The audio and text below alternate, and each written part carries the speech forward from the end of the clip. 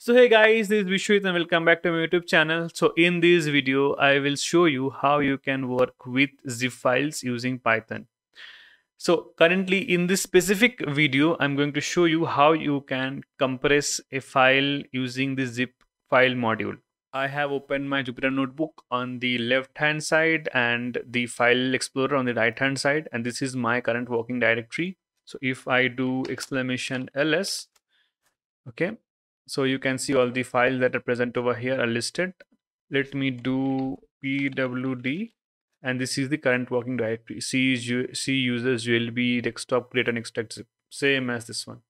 So what is a zip file? A zip file is actually an archive file using which you can compress data. You can store multiple files inside that zip file.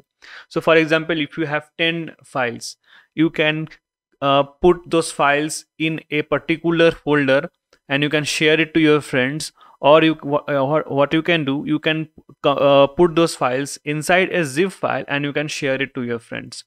So both of them works. So for example if i have a file over here for example data this is these are, these are some few of the files. I can zip them. Okay i have a third party program which helps me to zip them. If i do this this becomes a rar file. But if I change this so now this becomes a zip file. So you can see I have two files that got zipped together.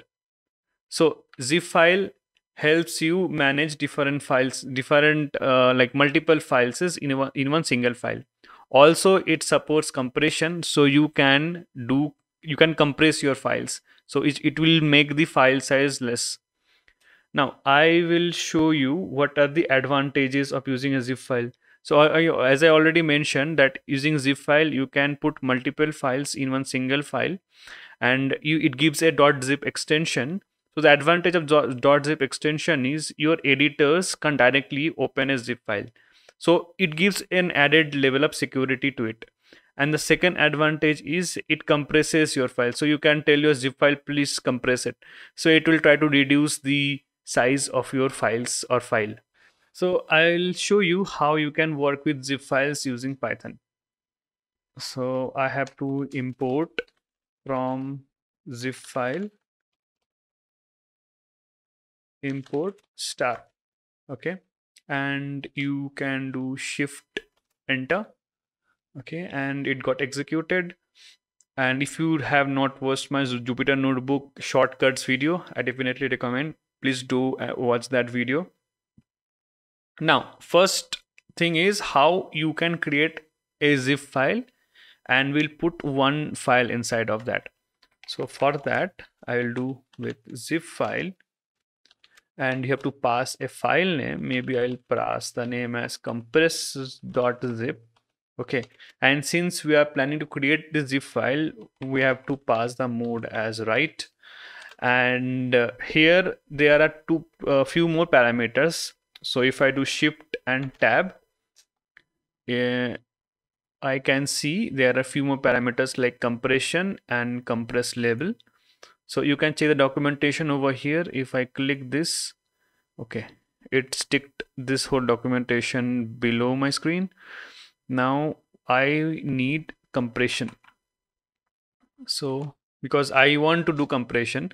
So there are different algorithms that are used. For example, there is zip stored, which does not give you any compression. And there is something called as zip deflated, and it is the most famous uh, compression algorithm that is used. So I'll I'll use this zip deflated, and I think we are done. Let me increase the screen size. Yep, and we'll do as zip file object. Why zip file object? Because it is actually a zip file object. Now what we will do zip file object dot write. And for example we want to write a single file. So this is our current working directory. Okay. And i want to put this books.csv file inside of it. So how can i do that? So dot write i'll pass this books.csv and if I do and shift and enter you can see compress.zip it got created and now I'll show you a little bit more So previously our file size was around 1.5, 1.48 MB. Okay, you can check. It is one 1523 KB. Okay, but now after compressing it, it is 604 KB. So almost like less than half of the size of the CSV. So this is one of the advantages of uh, like the zip file, and this is actually the most important advantage that you can compress your files.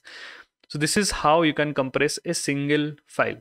So here I have shown you I am passing compression as diff, uh, zip deflated, but we also have another more control over it. We can also control the level of compression that we want. So if I come over here and if I delete my zip file from here and if I check the documentation for this, you can see there is also called as the compress level. Okay. So if you are using zip deflated, we have the option of specifying how much compression we want. So it is the integers between 0 and 9 are acceptable. And 0 being that we are not using any compression and 9 means we are using heavy compression. So let's show you this in action. So I want to do some level of compression. So if I give compression level as 0 and if I execute this part okay let me put it over here if I do this you can see the file size is 1.523 KB same as the files same as the CSV file which I compressed so inside if this I go okay books.csv it is having that 1.5 1.45 MB, something like that, 1.48 MB, something like that. So this is not at all compressed. Now, if I delete this, we don't require to delete it also. If we execute this, this file will get overwritten. So for example, let me keep it over here and I'll give the compression level as uh, maybe 5 and if I do shift enter okay you can see the file size got changed. So you don't have to delete it. It is automatically going to overwrite it. So this is now 608 KB. Okay. The compression level, we gave it as five. Now if we pass it as nine and if I do it, yeah, so you can see the compression level again, like we can see the file size is 602 and the compression level is at the highest, which is, which is nine. So we can see the file size got reduced to 602 KB. So in this way, you can control the level of compression that you want I am assuming uh, most of the time we'll keep the compression level as 9 itself so that our files are much more compressed